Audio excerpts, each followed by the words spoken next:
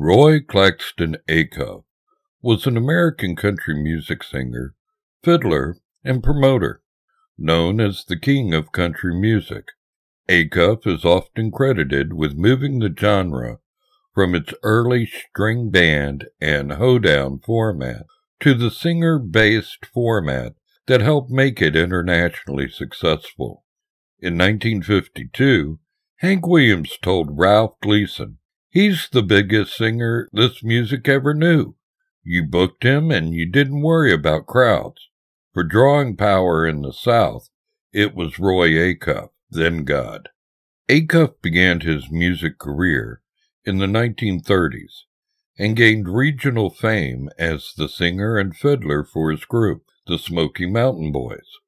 He joined the Grand Ole Opry in 1938 and although his popularity as a musician waned in the late 1940s, he remained one of the Opry's key figures and promoters for nearly four decades.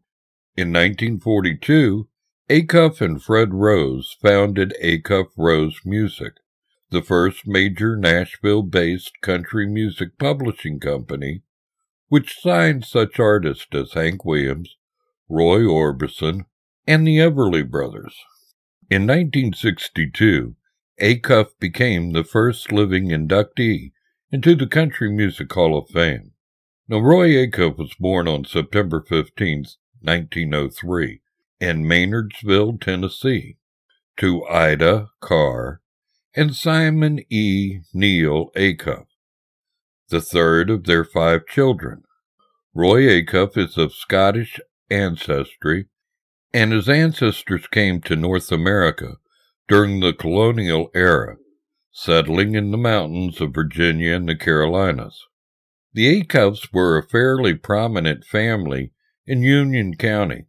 Roy's paternal grandfather, Coram Acuff, had been a Tennessee state senator, and his maternal grandfather was a local physician. Roy's father was an accomplished fiddler and a Baptist preacher. His mother was proficient on the piano, and during Roy's early years, the Acuff House was a popular place for local gatherings. At such gatherings, Roy would often amuse people by balancing farm tools on his chin. He also learned to play the harmonica and jaw harp at an early age. In 1919, the Acuff family relocated to Fountain City, now a suburb of Knoxville, a few miles south of Maynardsville. Roy attended Central High School, where he sang in the school chapel choir and performed in every play they had. His primary passion, however, was athletics. He was a three sport standout at Central and after graduating in 1925 was offered a scholarship to Carson Newman University but turned it down. He played with several small baseball clubs around Knoxville, worked at odd jobs, and occasionally boxed. In 1929, Acuff tried out for the Knoxville Smokies, a minor league baseball team then affiliated with the New York Giants, now the San Francisco Giants. A series of collapses in spring training following a sunstroke however, ended his baseball career.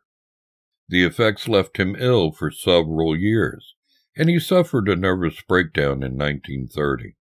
I couldn't stand any sunshine at all, he later recalled. While recovering, Acuff began to hone his fiddle skills, often playing on the family's front porch after the sun went down. His father gave him several records of regionally renowned fiddlers, such as Fiddlin, John Carson, and Gid Tanner, which were important influences on his early style.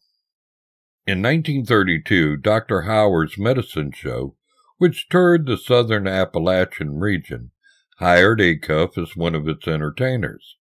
While on the medicine show circuit, Acuff met the legendary Appalachian banjoist Clarence Ashley, from whom he learned the House of the Rising Sun and Greenback Dollar, both of which Acuff later recorded.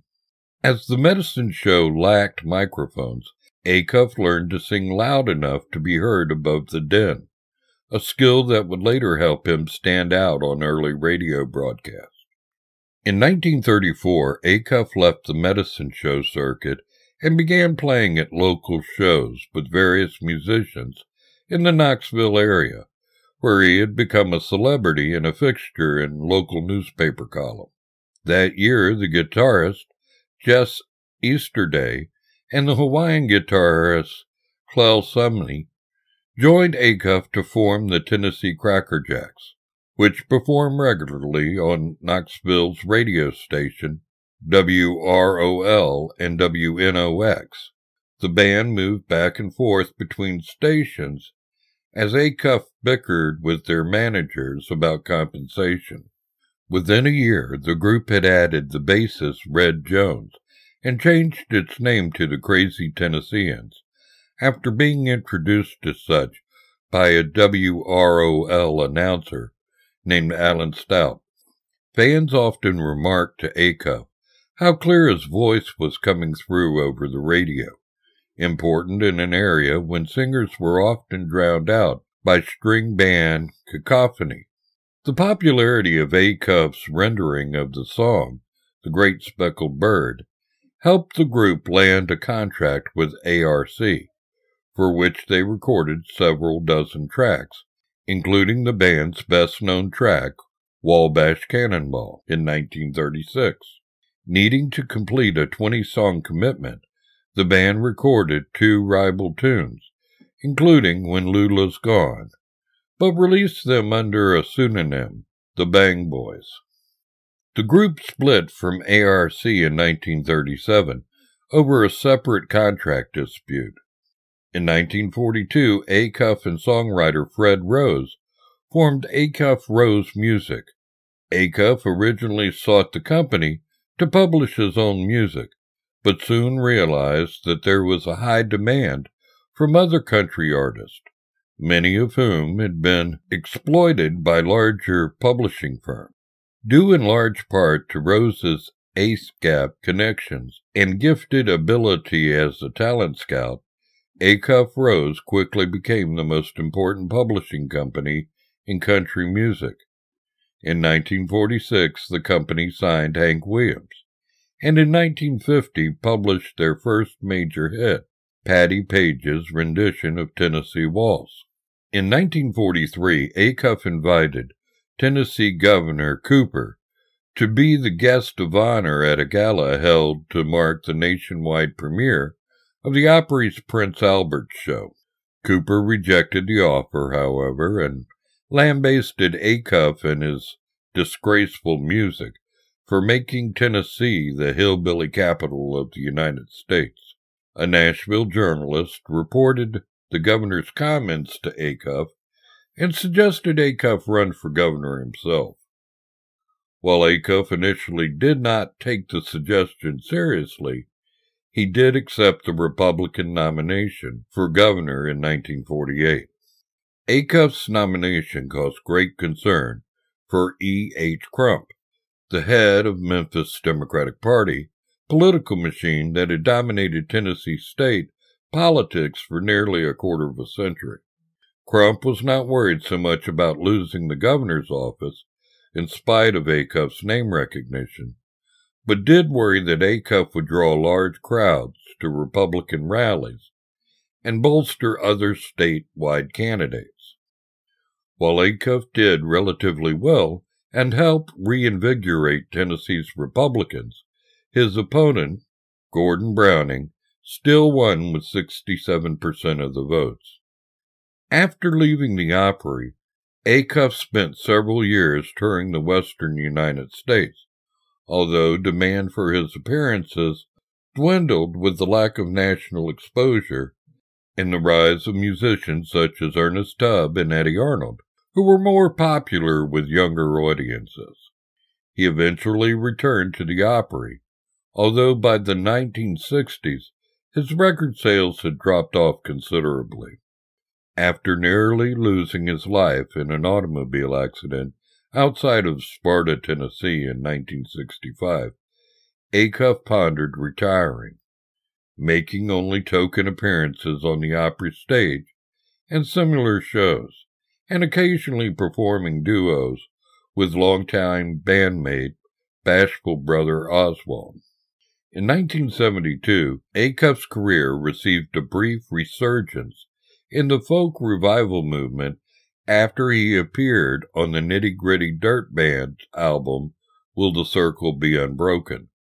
The appearance paved the way for one of the defining moments of Acuff's career, which came on the night of March 16, 1974, when the Opry officially moved from the Ryman Auditorium to the Grand Ole Opry House at Opryland. The first show at the new venue opened with a huge projection of a late 1930s image of Roy Acuff and the Smoky Mountain Boys onto a large screen above the stage. A recording from one of the band's 1939 appearances was played over the sound system, with the iconic voice of George Hay introducing the band, followed by the band's performance of Wabash Cannonball. That same night, Acuff showed President Richard Nixon, an honored guest at the event, how to yo-yo and convinced the president to play several songs on the piano. In the early 1980s, after the death of his wife, Mildred, Acuff, then in his 80s, moved into a small house on the Opryland grounds and continued performing daily on stage. He arrived early most days at the Opry before the shows and performing odd jobs, such as stocking soda in the backstage refrigerators, in 1988, he received the Golden Plate Award of the American Academy of Achievement. In 1991, he was awarded the National Medal of Arts and given a Lifetime Achievement Award by the John F. Kennedy Center for the Performing Arts, the first country music act to receive the esteemed honor. Sadly, Roy Acuff died at Baptist Hospital in Nashville on November 23, 1992, of congestive heart failure at the age of 89. Okay, that's the end of our video. I sure hope you enjoyed it. If you like this type of video and want us to keep producing them, please like and subscribe. And as always, thank you very much for watching.